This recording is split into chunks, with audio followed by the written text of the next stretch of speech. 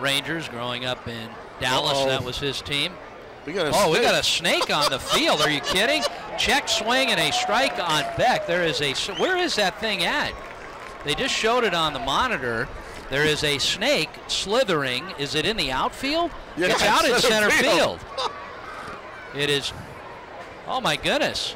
We had a cat last night, and Are you kidding me? I have never seen a snake on the field. Now, I've heard of snakes on a plane. That wasn't the greatest movie in the world, but uh, a snake on the field. All right, Kovacs, where's our groundskeeper? He uh, he was a, a cat wrestler the other night. Do you have? And I have no idea what kind of snake that is, nor would I even want to find out. A snake is in center field. and no one has any idea right now as we speak. Yeah, I don't think anyone has any clue.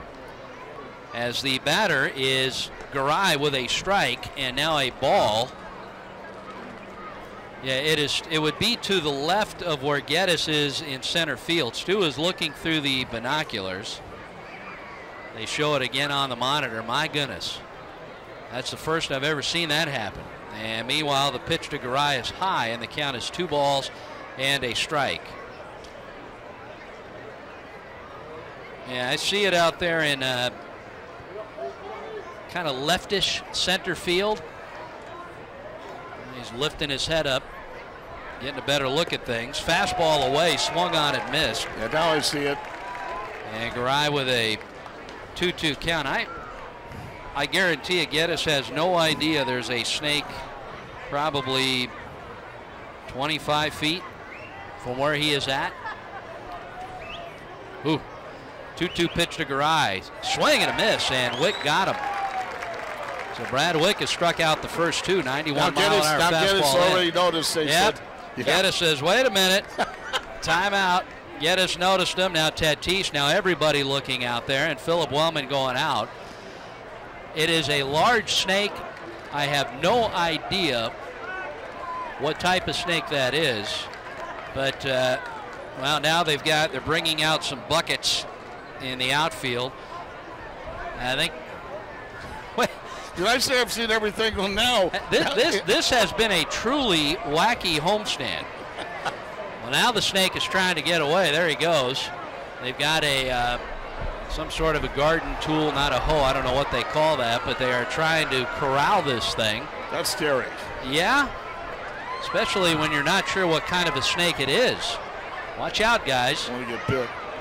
Trying to get up. they got a bucket on it now. I think. That's it. They're showing it on the video board so the crowd knows what's going on as well. This this entire homestand will go down as one for the ages. And it all started in the first game with that wacky, zany ninth inning with the ejections of Phillip Wellman and Ty France, the defensive obstruction call, the RBI hit that wasn't because of timeout, and then finally a grand slam by Overstreet. We had the cat on the field, which I saw that video made the uh, minor league baseball website, and I'm sure this one will Oh, I don't doubt in it. addition. My goodness. So they've got the bucket over it, and I think what they're going to try to do is kind of lift it and get the snake in it. Well, now they tip it upside down. They got a lid on it. And a nice, nice round of applause. My goodness. Thank God nobody got bit. Thank goodness. Well, again, we have no idea what kind of snake that is. That is uh, not quite my specialty. I did not go to uh, college to study that. Neither have I.